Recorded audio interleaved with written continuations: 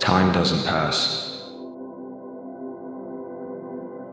So why do we live so busily in the wake of time that doesn't flow?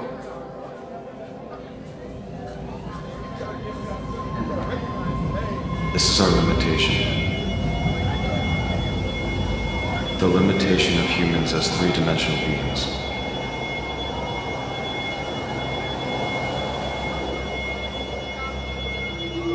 In three-dimensional existence, humans created the illusion of time to understand every moment of change. Time may be an illusion.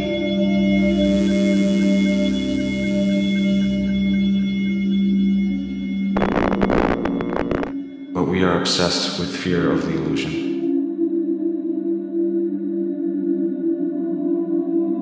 What we should really be afraid of is something else.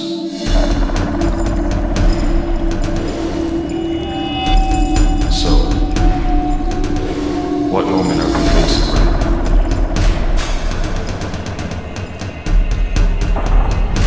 From now on, we are going to overcome the limits of perception. And we follow the flow of time with the chronograph.